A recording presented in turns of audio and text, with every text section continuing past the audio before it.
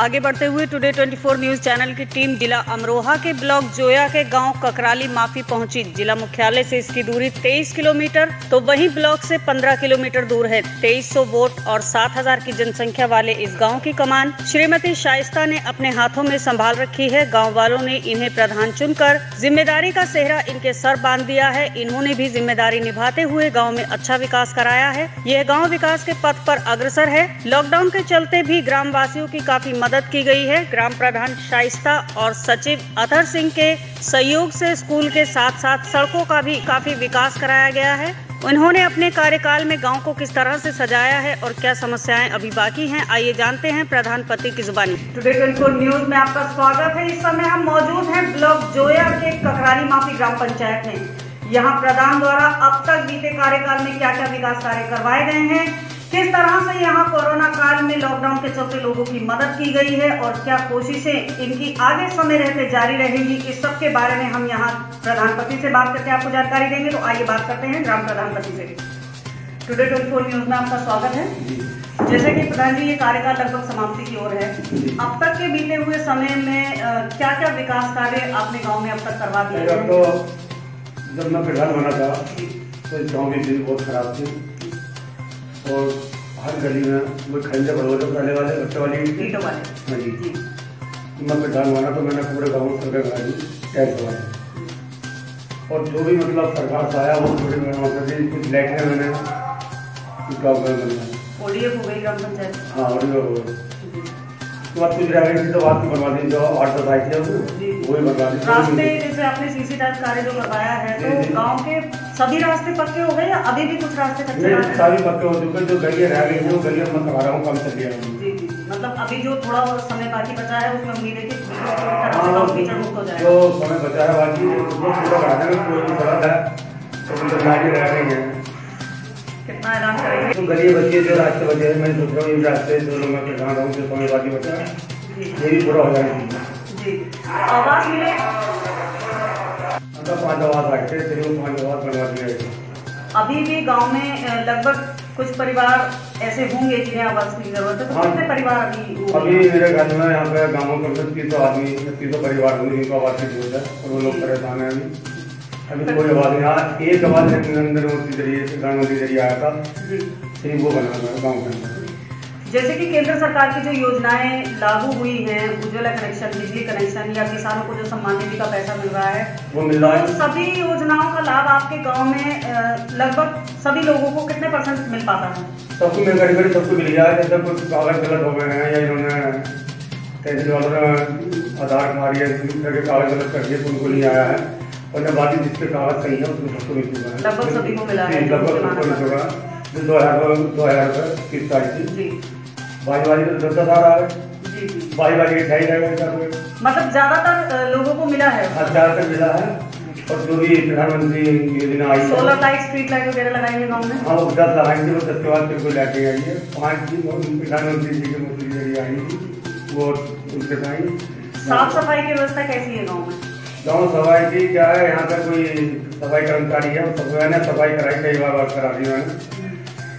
अब वो जो मंत्री व्यवस्था प्रधान बना जाता है सफ़ाई मैंने कराई गाँव के अंदर। सफ़ाई कर्मचारी जो यहाँ पर नियुक्त है गाँव में क्या ये एक है ये एक गाँव में सफ़ाई कर्मचारी क्या करेगा? मैंने अपने पास से दो लाख है हैं मतलब दो कर्मचारी आपने अपनी तरफ़ से हाँ, लगा रहे लगा रखे हैं उनको सीधे सफ़ाई थे की तो तीस चालीस हज़ार का सामान वो जैसे कोरोना महामारी हाँ, जो मतलब- चल रही थी लॉकडाउन के चलते भी आपने गाँव में सैनिटाइज वगैरह करवाया है? हाँ पूरे गाँव में कराया है। और नालियों में दवाई डलवाएँ वगैरह सब कुछ कराया मेरे गाँव में। मिशन कायाकल्प के अंतर्गत स्कूल में क्या क्या काम करवाए हैं? जी। मिशन कायाकल्प जो स्कूल में सौंदर्यकरण स्कूल में हमने कहा हमारा स्कूल बहुत गहरा था उसमें सारी टाइल्स बिछा के स्कूल के अंदर गेट छोटे थे गेट खुले करा दिए। और पूरा स्कूल जगह जगह दिया सारा कुछ नहीं रहा लैटरिन पानी वगैरह की सुविधा सब अ, सवा सुबह करा दिया और जो लैटरिन भी उसकी स्कूल की वो सारी भी बनवा दी जी, जी। तो मिड डे मील वगैरह जो है आप क्या समय समय पर देखते हैं कि वहाँ की जो व्यवस्था है मिड डे मील को हाँ, लेकर हो या किसी भी दिक्कत को लेकर हो तो समय देते हैं जी जी मिड डे मील तो ये है तो उसमें मशीनें चली हैं कुछ चोरी नहीं हो। सकती बिल्कुल होता मुझे लग रहा है। नहीं मेरे कहने का मतलब है कि जैसे ध्यान देते हैं इस चीज़ पर कि कहीं कोई दिक्कत तो नहीं है या मिड डे मील जो बन रहा है बच्चों को जो खाना मिल रहा है वो ठीक है हाँ बच्चों को जैसे खाना मिल गया था खाना बच्चों चला रहे थे बच्चों के टाइम। जी। और हम रोज सुबह के टाइम हम जाते थे स्कूल ऐसा खाना बन गया क्या नहीं हो रही हमने कभी हमने ये सोच लिया कि हमारे बच्चे खाते हैं जैसे ये बच्चों का। और जब आदमी अपने बच्चों को देख रहा तो दूसरों क्या करेगा जी बिल्कुल सही बात है सरकारी बिल्डिंग में यहाँ स्कूल के अलावा बारात घर पंचायत भवन ये बने हुए हैं। आंगनबाड़ी केंद्र आंगनबाड़ी केंद्र है लोग खेल का मैदान। खेल का मैदान भी नहीं है। खत्म कर दिया पहले में लगा था अभी तक कब्रिस्तान शमशान घाट ये बने हुए हैं। कब्रिस्तान की सिर्फ़ एक की बोर्ड हुई है बाकी संसार घाट की कोई बोर्ड नहीं होगा ये ना कोई बनवा रहा तो के लिए कहाँ पर लोग जो है अ, जाते हैं? घाट आपने बताया कि यहाँ बना हुआ नहीं है। बनवा नहीं है होगा वहीं होते हैं कभी अच्छा, मतलब वहाँ जगह तो उनके लिए मतलब जो है प्रबंध है यहाँ। हाँ जगह सब कुछ बन है। घाट है यहाँ पे दो जगह। दो जगह है सब कुछ ठीक है अस्पताल? अस्पताल तो बहुत बड़ा है। जैसे कि आपने बताया यहाँ स्वास्थ्य केंद्र बना हुआ है लेकिन वो केवल नाम मात्र बना हुआ है बिल्डिंग बनी हुई है। हाँ, उसमें ना ही कोई डॉक्टर बैठते हैं ना ही वहाँ कोई दवाई मिलती है। अब से पहले प्रधान ने बनवाया था। जी। उसके बाद हमने उसकी कई बार सफ़ाई के साथ करवाई तो उसको लेकर आपने कभी शिकायत नहीं की कभी कोशिश नहीं की कि इसमें जो है डॉक्टर यहाँ पर नियुक्त किए जाएँ या दवाइयाँ लोगों को इसका कहीं ना कहीं इसका कोई लाभ मिले? हमने कई बार शिकायत की हमारी कोई सुनवाई नहीं हमने फिर जब सोचा पर हमने कहीं ढंग से क्या करना क्या कर। सकते। मतलब किसी भी तरह की कोई सुनवाई नहीं कोई ऐसा दिखाई नहीं दिया आपकी शिकायतों का। कोई सुनवाई नहीं अब अपने गाँव को और ज़्यादा सुंदर और विकसित करने के लिए क्या प्रमुख मांग सरकार से रखना चाहेंगे आप? अरे हम चाह रहे हैं तो आवाज़ लोगों को आ जाना इससे लोग क्या करियो हल्ला हो जाओ तो उनका रहने का ठिकाना हो जाए। ये पानी की व्यवस्था कैसी है हमारा पानी पीने की यहाँ पे टंकी है। बना हुआ है। जी जी टंकी है उसकी मोटर खराब मोटर ले आए हैं उसमें तार हम्म, तार उसमें पहले सिंगल तार था वो ठेकेदार पता नहीं कैसे डाल दिया। अब उसको डबल तार तार डलवाना मोटर है।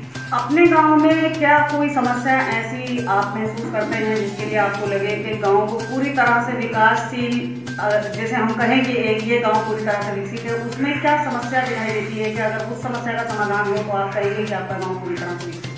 अब हैं हो दिए लोगों का आवाज़ मिलना गाँव के अंदर। जी, जो बचा के उनका आवाज़ मिल जाने चाहिए बिल्कुल। और उसके बाद जो नल है पानी पीने वाले तो हमने सारे सही करा दिए पानी जो है। है इस छोटे हमने सही करा दिए हैं। और ये सोलर लाइट है या भी जाने के लिए चाहिए काम लाइटों की पर ज़रूरत है। हाँ जो है वो दो लोग बाहर रह रहे हैं करे उनके साथ थोड़ी परेशानी है। गाँव को वैसे जाने लोग भी थोड़े कोई जहाँ पर जैसे कि अमरोहा ज़िले में काफ़ी कोरोना केसेस आए हैं सामने और अभी भी लगातार कोरोना के केसेस पूरे देश में दिन ब दिन बढ़ते जा रहे हैं रिकॉर्ड दिन ब दिन टूटता चला जा रहा है। तो इसको लेकर अपने गाँव वासियों को कुछ जागरूकता संदेश देना मेरे गाँव में तो कोई नहीं आया जी। हाँ, तो वहाँ यहाँ रोटी मारी। तो अपने गाँव वालों को कुछ जागरूकता संदेश देना चाहेंगे इसको लेकर? अरे गाँव वालों क्या, गाँव वालों को खिलाओ दो मिल जाओ गाँव वालों से अकेला खाना गरीब आदमी क्यों होता मतलब जैसा कि आपने देखा, ग्राम प्रधान पति से हमने यहाँ बातचीत की है। इस बीते कार्यकाल में काफ़ी विकास इनके द्वारा यहाँ करवाया गया है। जैसे सीसी टाइल्स कार्य सड़क निर्माण, शौचालय से गाँव पूरी तरह से ओडीएफ हो चुका है। आवास भी कुछ लोगों को यहाँ मिले हैं।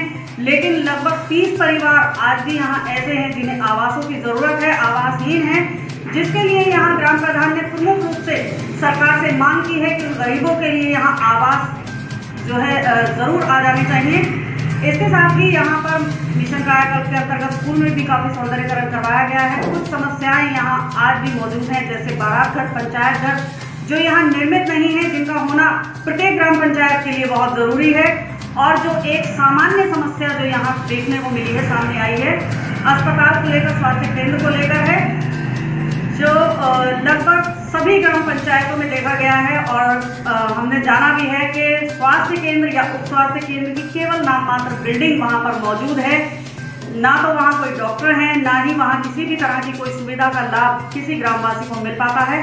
मेरा मोदी सरकार से निवेदन है कि स्वास्थ्य विभाग पर जो हेल्थ स्ट्रक्चर पर पंचायत पंचायत पंचायत जैसा जैसा कि यहाँ बताया है कि कई बार इस बारे में शिकायत भी की जा चुकी है। कोशिश भी लगातार यहाँ ग्राम प्रधान की जारी रही है इस सुविधा का लाभ लोगों तक पहुँचाने की। शिकायतें भी कई बार हो चुकी हैं लेकिन कोई भी समाधान कोई भी सुनवाई आज तक नहीं हो पाई है।